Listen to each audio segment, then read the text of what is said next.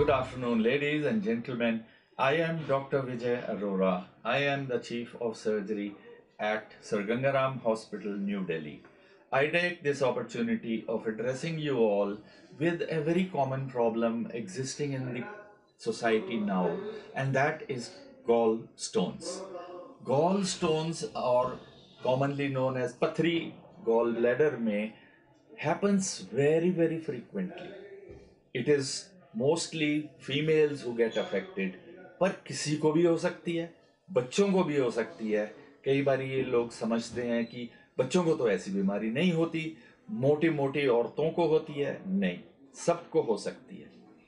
सबसे ज़्यादा problem gall bladder में स्टोन होने से पेन की होती है। पर कई बार दर्द होती ही नहीं है और ये पहली बारी किसी और कारण से कोई टेस्ट जैसे अल्ट्रासाउंड किया गया तब पता लगता है कि गॉल ब्लैडर में स्टोन्स हैं। वो कहते हैं हमें तो कभी दर्द हुई नहीं। पर अगर आप उनसे डिटेल में पूछो तो कभी कोई गैस की प्रॉब्लम होती है, कभी हार्ट बर्न एसिडिटी इस तरीके की प्रॉब्लम रहती है। इन लोगों को लगता है कि गॉल ब्लैडर सिर्फ़ स्टोन पेनफुल होने से ही ऑपरेशन कराना चाहिए। बहुत सारे लोग बहुत जगह घूम फिर के आते हैं कि किसी और तरीके से ये गॉल स्टोन्स डिजोल्व हो जाए। कोई दवाई हो, कोई डाइट हो, कोई और तरीका हो, हालाँकि ऐसा कुछ होता नहीं है। जब एक पेशेंट को गॉल ब्लैडर में स्टोन पता लग जाए तो क्या उसको ऑपरेशन करा ही लेना चाहिए? और क्या उसमें कोई अर्जेंसी होती है? जब तक के सिम्टम नहीं हो तो अर्जेंसी नहीं होती।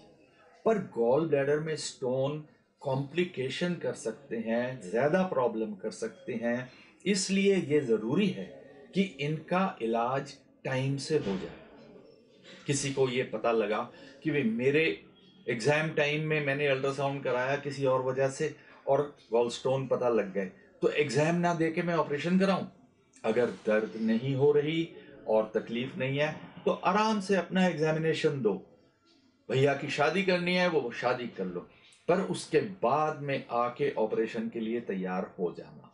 जब आपको तकलीफ़ ज़्यादा ही होगी, दर्द हो रही है, उल्टियाँ आ रही हैं, पेट फूला हुआ है तो आप भागे भागे आओगे ही उसके लिए ऑपरेशन कराने के लिए। गॉल ब्लैडर में स्टोन ज़्यादातर उन लोगों को तकलीफ़ देते हैं, जिनको दूसरी कुछ और बीमारियाँ होती हैं। मोटापा, शुगर होना, किसी को किडनी की प्रॉब्लम है, किसी को लिवर की प्रॉब्लम है, इन लोगों को हो सकती है। बच्चों को भी होती है।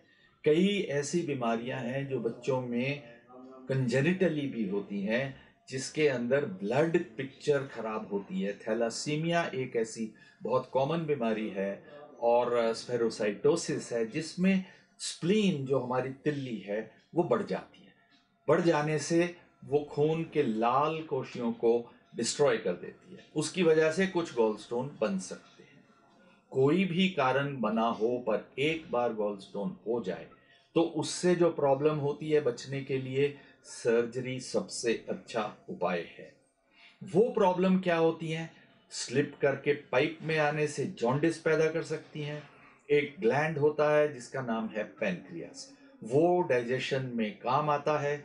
अगर ये स्टोन उसकी डक्ट में या उसके पास वाली डक्ट में फंस जाए तो पेनक्रियाज में सोजन और इन्फेक्शन कर देती हैं। ये एक बहुत खतरनाक बीमारी होती है। पेनक्रेटाइटिस जिसको बोलते हैं, वो डेंजरस होती है और लाइफ थ्रेटनिंग भी हो सकती है। पेनक्रेटाइटिस का इलाज भी बहुत मुश्किल है। आमतौर पे ये अपने आप सेटल कर सकती है, पर अगर बिगड़े तो इससे पूरा असर बॉडी पर पड़ सकता है। इसके अलावा अगर बहुत पुरानी पथरियाँ बड़ी बड़ी पथरियाँ गॉल ब्लैडर में 10-20 साल तक रह जाएँ तो उनकी इरिटेशन से गॉल ब्लैडर में इंफेक्शन हो सकती है इन्फ्लेमेशन हो सकती है और कभी कभार कैंसर भी हो सकता है। हर पथरी कैंसर पैदा नहीं करती, पर हमने ये देखा है कि जिनको गॉल ब्लैडर के अंदर पथरियाँ होती हैं उन्हीं में कैंसर ज़्यादातर होता है। इन सारों तक ना पहुँचे।